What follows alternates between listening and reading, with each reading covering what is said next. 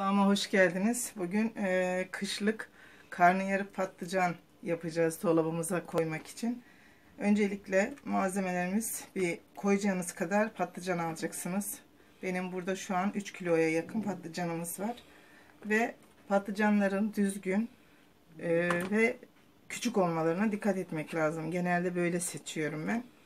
Öncelikle saplarını hafif böyle alıyoruz bu kenarlarındaki saçaklarını da hafiften şöyle kestikten sonra çok kişi bu sapı komple kesiyor ama ben böyle seviyorum. Sevmiyoruz diyorsanız böyle kesebilirsiniz burayı ve şeriş şeklinde soyuyoruz. Bunları biraz tuzlu suda bekletiyoruz. Hepsini böyle yaptıktan sonra bir 20 dakika tuzlu suda bekleteceğiz. Evet, bütün patlıcanlarımızı bu şekilde soyduk ve bu kadar kestik. Şimdi bunları su dolduruyoruz ve içine bir tutam kadar su atıyoruz. 20 dakika kadar suyun içinde bekleteceğiz.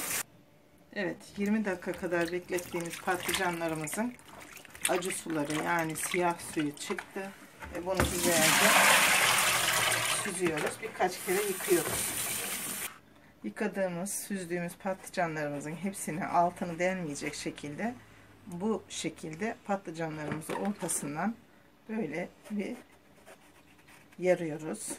Hepsini aynı bu şekilde yapıyoruz. Evet yıkadığımız patlıcanlarımızı böyle güzel temiz mutfakta kullandığımız havlu, peçete, kağıt havlu da olabilir. Böyle sularını alıyoruz güzelce hepsini. Evet patlıcanları isteyen arkalı yönünü her tarafını kızartabilir ocakta. Ama ben fırında yapacağım. Daha sağlıklı, daha iyi oluyor. Tabi lezzet anlamında ocakta kızarttığımız daha lezzetli oluyor ama çok yağ çekiyor ocaktaki. Bu da her yerine gene patlıcanlarımızın böyle gelecek şekilde fırçayla böyle hafiften yağ sürüyoruz. Bütün patlıcanlarımıza aynı şeyi uyguluyoruz. Evet bütün patlıcanlarımız böyle her taraflarına gelecek şekilde yağladık. Ve önceden ısıttığımız 200 derecedeki fırında böyle hafif bunlar pörsüyüp kızarana kadar bekletiyoruz. Patlıcanlarımız çok güzel fırından çıktı. Bir 10-15 dakika kadar soğumalarını bekliyoruz ve sonra poşete koyacağız. Evet patlıcanlarımız soğudu.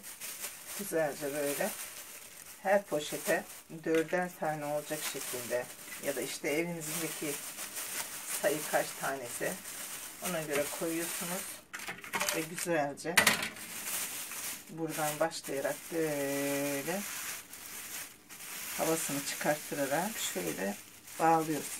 Gerçi artık şimdi çok güzel poşetler var ama öyle yapmak isteyenler için bu poşetlerimiz. Evet. Böyle dolduruyoruz poşetlerimizi. Evet böyle güzelce havasını böyle aldırtırarak şöyle kapatıyoruz. Evet. Bütün patlıcanlarımızı bu şekilde yapıyoruz. Derin dondurucuya koyuyoruz. Kışın ihtiyaç olduğu zaman harcımızı hazırlayıp dolduruyoruz ve fırında, ocakta pişiriyoruz. Afiyet olsun. Başka videolarda görüşmek üzere. Sevgiyle kalın. Kanalımıza abone olmayı unutmayın.